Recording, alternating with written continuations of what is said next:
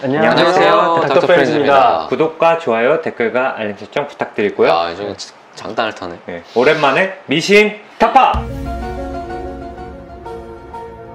제가 이제 브이로그에 정신과 진료를 받는 걸 올렸더니 음. 진료 받는 건 이제 알겠고 진료 받는 게 생각보다 무섭지 않겠다 이제 선생님이 음, 어허. 보여주셔서 근데 기록이 남는 것 때문에 못 가겠다 아, 기록이. 네. 음. 그래서 한번 이 부분에 대해서 이제 한번 좀 다뤄보려고 해요 이거 뭐, 좀 많이 궁금하실 것 그러니까요 같아요. 그래서 그런 말 많잖아요. 정신과 그 진료를 보면은 그 기록 때문에 뭐 취업이나 다른 사회생활에 어떤 문제가 될까봐 못 가겠다라는 그렇죠. 음. 댓글이 많고 걱정이 예. 많더라고요.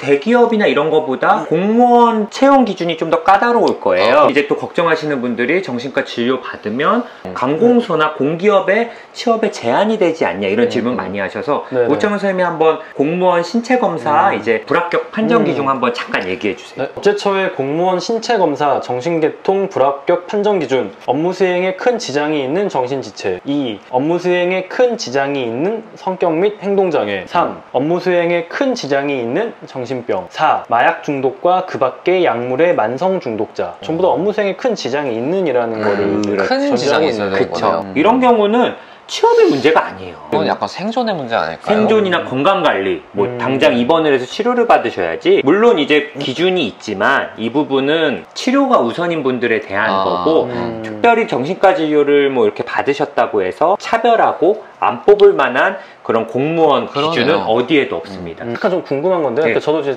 당뇨병 환자분이나 만성질환 환자분들 경우에는 예. 소견서를 적는 경우가 있거든요. 예. 음. 이게 뭐 업무 수행에 문제가 있을 정도의 아. 그런 신체 문제 장애는 아닙니다라고 예. 쓰는 경우가 있어요. 예. 환자분 전 예. 외래에서 보니까요. 예. 환자분이 혹시 걱정이 돼가지고 문제가 없는 정도다라는 예. 걸 소명하고 싶을 때 이런 소견서를 적기도 하나요, 정신과도요? 어, 간혹 요구하시는 경우가 있어요. 이낙주 선생님이랑 저랑은 군복무를 공군사관학교에서 아, 그렇죠. 했었는데 저- 항공 우주 의료원. 그렇죠. 이름이 아주 멋있죠. 예. 이름이 엄청 멋있어. 요 네. 저는 그냥 국군구리병원.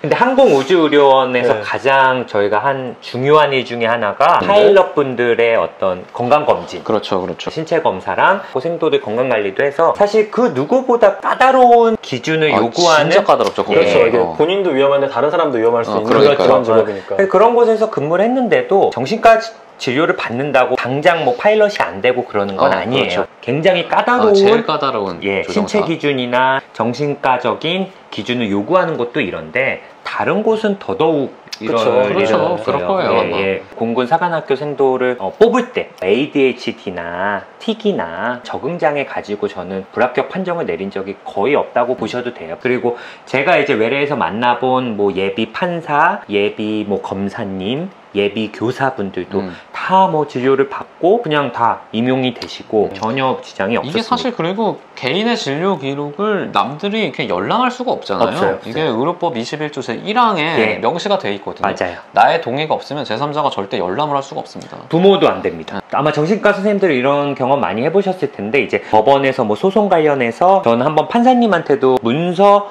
송부 촉탁 신청서 굉장히 어렵죠.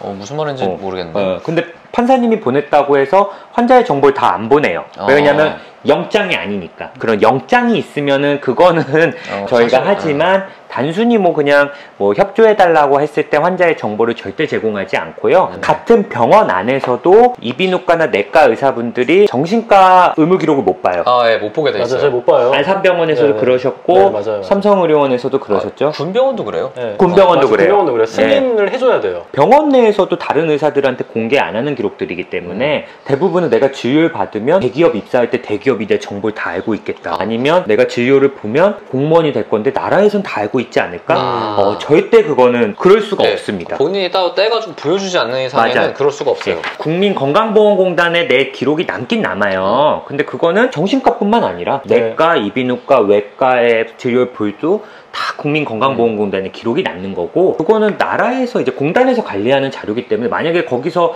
뭐 유출 사고가 일어났다 그러면 그야말로 어, 사고, 값 네, 사고예요, 그쵸, 사고. 그쵸. 그 예, 사고도 이게 하고. 개인 정보입니다, 예. 개인 정보. 네. 그리고 뭐 공단 기록은 진료 몇 번 받았는지 투약 일수, 진단명 이 정도만 나오는 네, 되게 거지 간단- 개인은 익명화 아마 돼가지고 암호화 처리가 네, 다 되고 돼서 내가 여기서 이 의사랑 무슨 얘기를 했고 어떤 내용을 했는지 그런 아, 것까지 나오진 않습니다. 공단에 어. 기록이 남는 것 자체는 불, 불안하다. 그러면 건강보험 혜택 받지 않고 일반 진료로 해서 아 일반 아, 진료로 100% 그냥 본인 부담으로 진료를 하시면 아예 뭐 아예 아무것도 안 기록도 안 예. 나올 수 있죠. 근데 굳이 저는 그렇게 추천해드리고 싶진 않아요. 네. 죄도 아니고 음. 잘못도 아니고 요즘은 뭐 국가인권위원회나 이런 데서 이런 정신과 진료 기록으로 취업에 차별을 하지 못하게 돼 있고 음. 내가 말하지 않고 떼어가지 않는 이상은 알 수 없기 때문에 굳이 그렇게까지 비용을 많이 들여서 진료를 안 받으셨으면 어, 좋겠어요. 보험 근데 신규 가입할 때는 불이익이 있나요? 아, 정신과 질환으로 입원을 할 정도였거나 어. 아주 심각한 자살 시도가 아닌 이상에는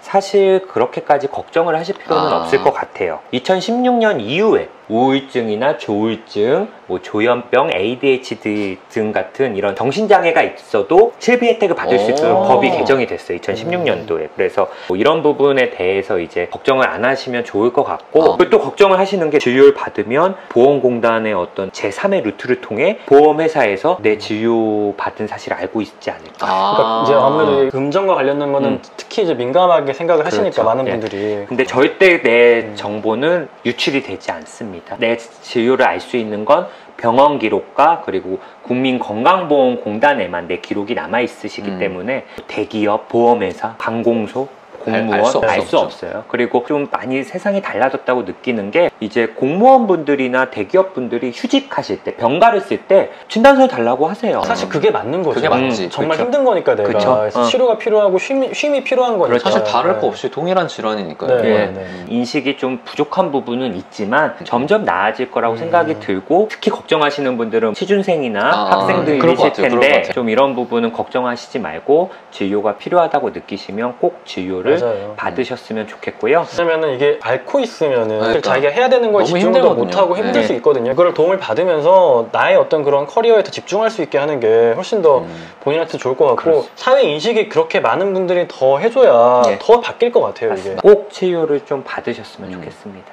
예. 감사합니다. 네.